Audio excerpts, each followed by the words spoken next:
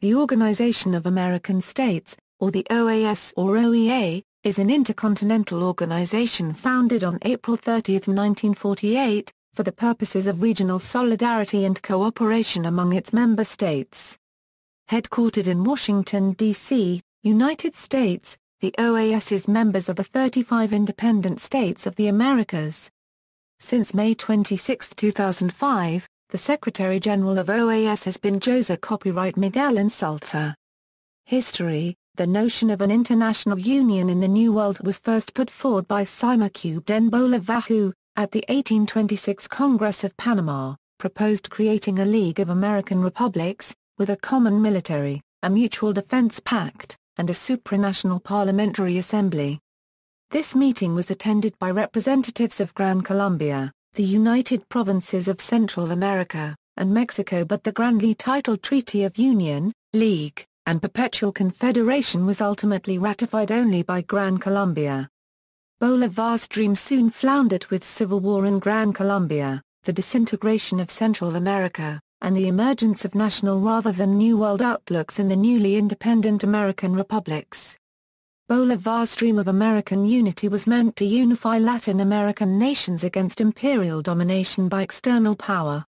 The pursuit of regional solidarity and cooperation again came to the forefront in 1889 a Euro 1890, at the First International Conference of American States. Gathered together in Washington, D.C., 18 nations resolved to found the International Union of American Republics, served by a permanent secretariat called the Commercial Bureau of the American Republics. These two bodies, in existence as of April 14, 1890, represent the point of inception to which today's OAS and its General Secretariat trace their origins. At the Fourth International Conference of American States, the name of the organization was changed to the Union of American Republics, and the Bureau became the Pan-American Union.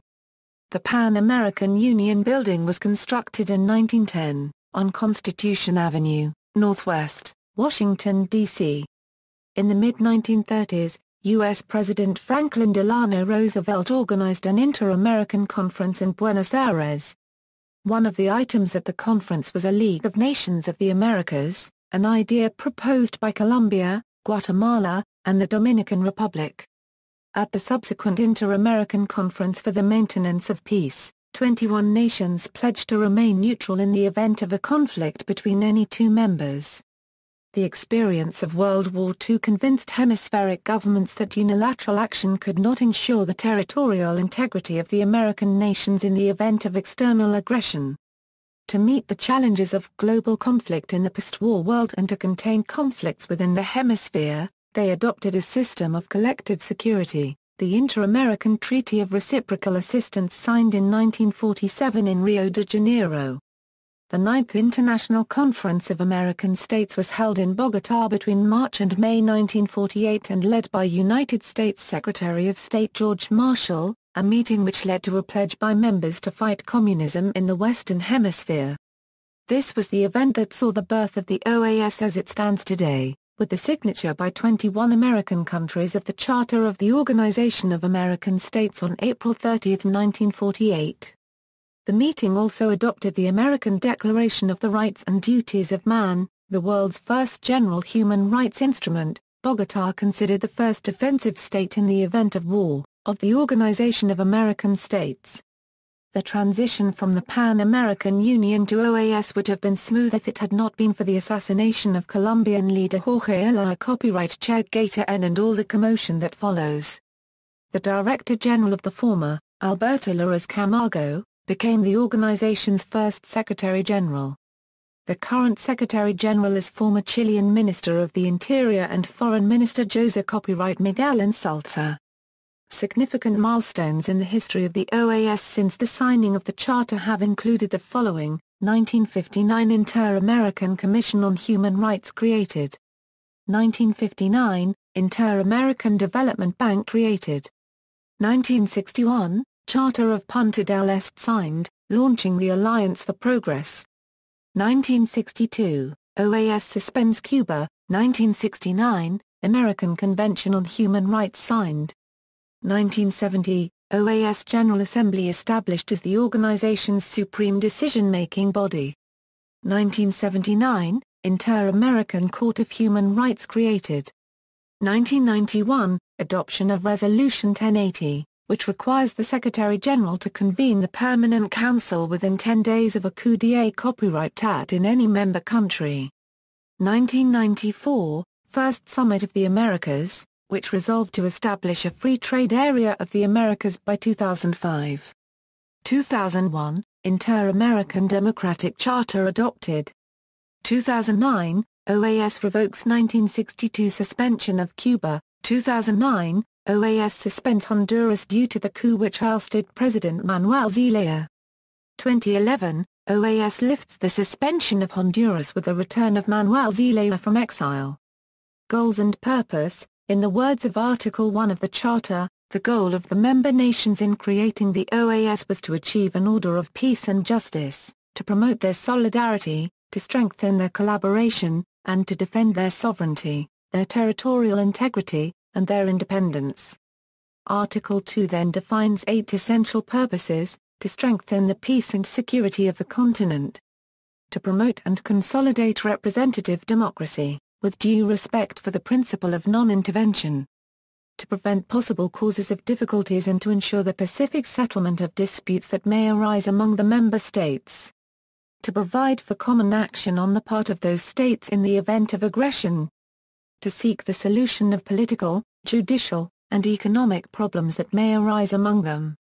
To promote, by cooperative action, their economic, social, and cultural development to eradicate extreme poverty, which constitutes an obstacle to the full democratic development of the peoples of the hemisphere.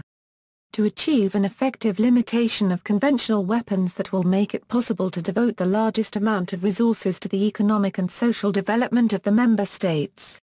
Over the course of the 1990s, with the end of the Cold War, the return to democracy in Latin America, and the thrust toward globalization, the OAS made major efforts to reinvent itself to fit the new context. Its stated priorities now include the following, strengthening democracy. Between 1962 and 2002, the organization sent multinational observation missions to oversee free and fair elections in the member states on more than 100 occasions. The OAS also works to strengthen national and local government and electoral agencies to promote democratic practices and values, and to help countries detect and diffuse official corruption. Working for peace, special OAS missions have supported peace processes in Nicaragua, Suriname, Haiti, and Guatemala. The organization has played a leading part in the removal of landmines deployed in member states and it has led negotiations to resolve the continent's remaining border disputes. Work is also underway on the construction of a common inter-American counterterrorism front. Defending human rights, the agencies of the Inter-American human rights system provide a venue for the denunciation and resolution of human rights violations in individual cases. They also monitor and report on the general human rights situation in the member states. Fostering free trade, the OAS is one of the three agencies currently engaged in drafting a treaty aiming to establish an intercontinental free trade area from Alaska to Tierra del Fuego. Fighting the drugs trade, the Inter-American Drug Abuse Control Commission was established in 1986 to coordinate efforts and cross-border cooperation in this area. Promoting sustainable development, the goal of the OAS's Inter-American Council for Integral Development is to promote economic development and combating poverty. OAS technical cooperation programs address such areas as river basin management, the conservation of biodiversity, preservation of cultural diversity, planning for global climate change, sustainable tourism, and natural disaster mitigation. Organizational structure The Organization of American States is composed of an Organization of American States General Secretariat, the Permanent Council, the Inter-American Council for Integral Development, and a number of committees. The General Secretariat of the Organization of American States consists of six secretariats. Secretariat for Political Affairs, Executive Secretariat for Integral Development, Secretariat for Multidimensional Security, Secretariat for Administration and Finance, Secretariat for Legal Affairs, Secretariat for External Relations The various committees of the Organization of American States include, the Committee on Juridical and Political Affairs, the Committee on Administrative and Budgetary Affairs, the Committee on Hemispheric Security, the Committee on Inter-American Summits Management and Civil Society Participation in OAS Activities, General Assembly. The General Assembly is the supreme decision-making body of OAS. It convenes once every year in a regular session. In special circumstances, and with the approval of two-thirds of the member states, the Permanent Council can convene special sessions. The organization's member states take turns hosting the General Assembly on a rotating basis. The states are represented at its sessions by their chosen delegates, generally, their ministers of foreign affairs or their appointed deputies.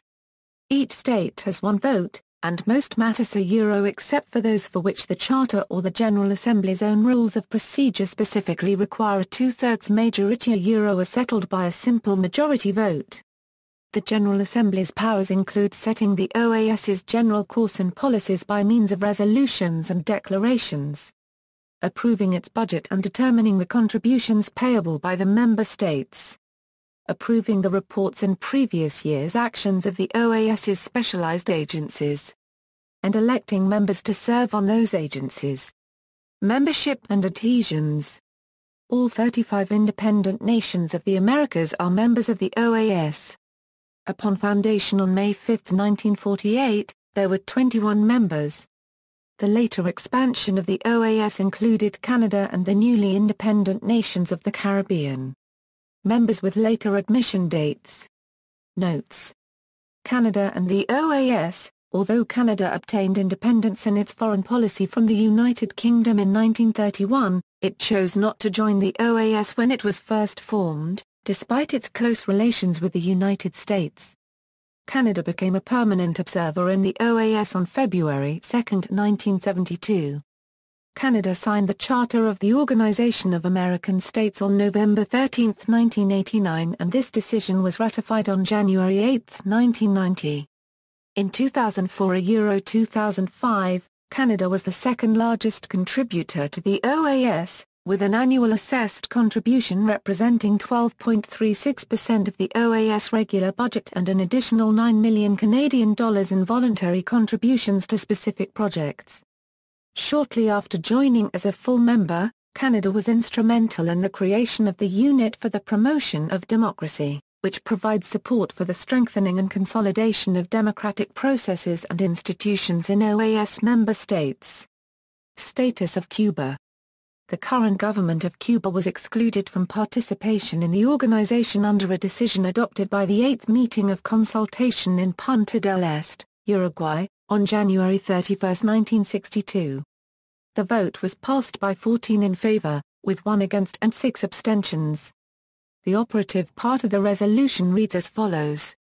That adherence by any member of the Organization of American States to Marxism-Leninism is incompatible with the inter-American system and the alignment of such a government with a communist bloc breaks the unity and solidarity of the continents. That the present government of Cuba, which has officially identified itself as a Marxist-Leninist government, was incompatible with the principles and objectives of the inter-American system. That this incompatibility excluded the present government of Cuba from participation in the inter-American system. This meant that the Cuban nation was still technically a member state, but that the current government was denied the right of representation and attendance at meetings and of participation in activities. The OAS's position was that although Cuba's participation was suspended, its obligations under the Charter, the American Declaration of the Rights and Duties of Man, etc. still hold, for instance, the Inter-American Commission on Human Rights continued to publish reports on Cuba's human rights situation and to hear individual cases involving Cuban nationals. However, this stance was occasionally questioned by other individual member states. Cuba's position was stated in an official note sent to the organization merely as a courtesy by Minister of Foreign Affairs Drivor L. Rowe on November 4, 1964, Cuba was arbitrarily excluded. The Organization of American States has no juridical, factual, or moral jurisdiction, nor competence, over a state which it has illegally deprived of its rights. The reincorporation of Cuba as an active member regularly arose as a topic within the Inter-American Sistema Euro for instance, it was intimated by the outgoing ambassador of Mexico in 1998 AA Euro, but most observers did not see it as a serious possibility while the present government remained in power. Since 1960, the Cuban administration had repeatedly characterized the OAS as the Ministry of Colonies of the United States of America. On May 6, 2005, President Fidel Castro reiterated that the island nation would not be part of a disgraceful institution that has only humiliated the honor of Latin American nations. After Fidel Castro's recent retirement and the ascent of his brother Raúl to power, this official position was reasserted. Venezuelan President Hugo Chavez promised to veto any final declaration of the 2009 Summit of the Americas due to Cuba's exclusion. On April 17, 2009, after a trading of warm words between the administrations of U.S. President Barack Obama and Cuban leader Raul Castro, OAS Secretary-General Jose Copyright Miguel Insulza said he would ask the 2009 General Assembly to annul a 1962 resolution excluding Cuba. On June 3, 2009, foreign ministers assembled in San Pedro Sula, Honduras, for the OAS's 39th General Assembly, passed a vote to lift Cuba's suspension from the OAS. The United States had been pressuring the OAS for weeks to condition Cuba's readmission to the group on democratic principles and commitment to human rights. Ecuador's Foreign Minister Fander Falconí said there will be no such conditions.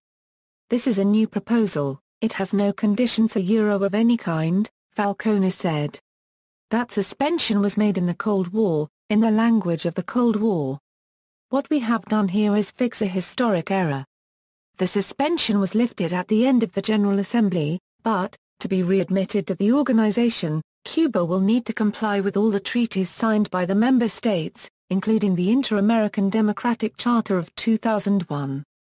A declaration by Cuba's revolutionary government dated June 8, 2009 stated that while Cuba welcomed the Assembly's gesture, in light of the organization's historical records Cuba will not return to the OAS. Suspension of Honduras Following the expulsion of its president Manuel Zelaya, Honduras membership of the organization was suspended unanimously at midnight on July 5, 2009. The de facto government had already announced it was leaving the OAS hours earlier. This was not, however, taken into account by the OAS, which does not recognize that government is legitimate. An extraordinary meeting had been conducted by the OAS in Washington, D.C., with Zelaya in attendance. The suspension of Honduras was approved unanimously with 33 votes. This was the first suspension carried out by the OAS since that of Cuba in 1962. After Zelaya's return to Honduras in 2011, the country was readmitted to the organization on June 1, 2011 with 32 votes in favor and one against. Venezuela expressed some reservations. Permanent observers, as of January 31, 2014, there are 68 permanent observer countries, as well as the European Union. Official languages The organization's official languages are Spanish, English, Portuguese, and French, the national languages of the majority of its member nations. The Charter, the basic instrument governing OAS, makes no reference to the use of official languages. These references are to be found in the rules of procedure governing the various OAS bodies. Article 51 of the Rules of Procedure of the General Assembly, the supreme body of the OAS, which meets once a year, states that English, French, Portuguese and Spanish are the four official languages. Article 28 stipulates that a style committee shall be set up with representatives of the four official languages to review the General Assembly resolutions and declarations. Article 53 states that proposals shall be presented in the four official languages.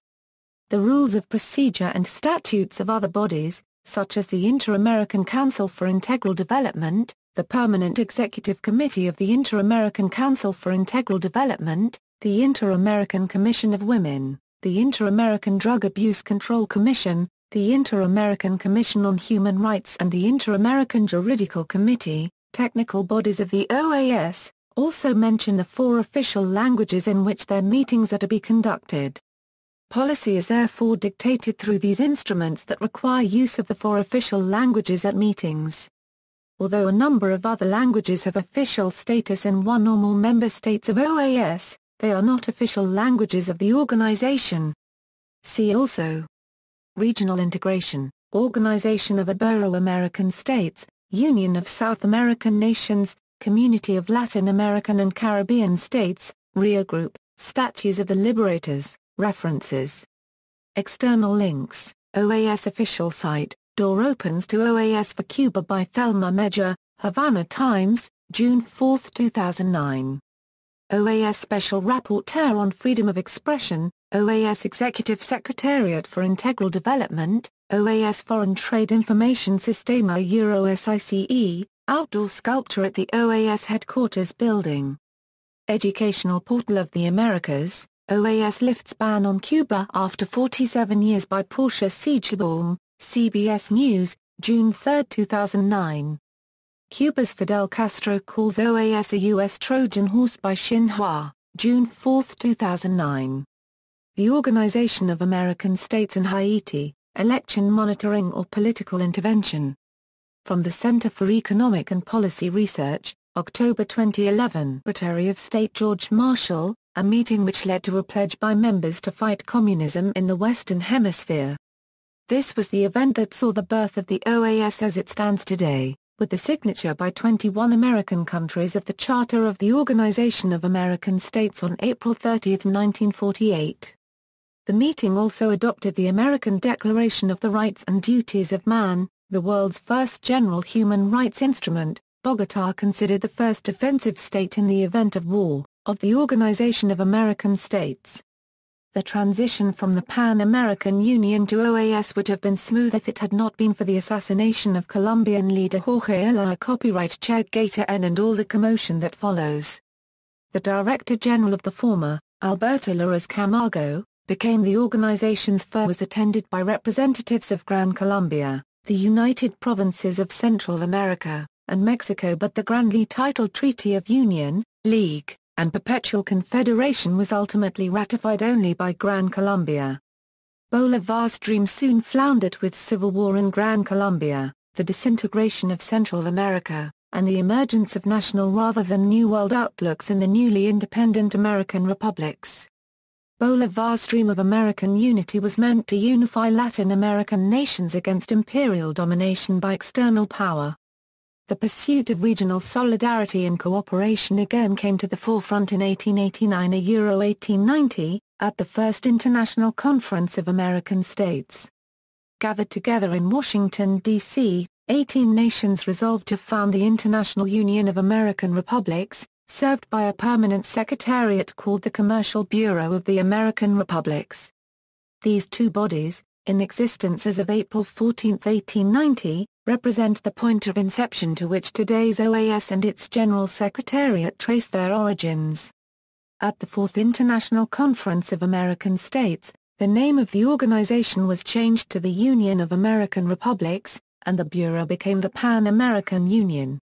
The Pan-American Union building was constructed in 1910, on Constitution Avenue, Northwest, Washington, D.C. In the mid-1930s, U.S. President Franklin Delano Roosevelt organized an Inter-American Conference in Buenos Aires.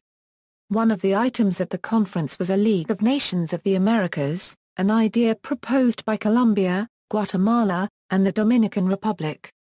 At the subsequent Inter-American Conference for the Maintenance of Peace, 21 nations pledged to remain neutral in the event of a conflict between any two members. The experience of World War II convinced hemispheric governments that unilateral action could not ensure the territorial integrity of the American nations in the event of external aggression.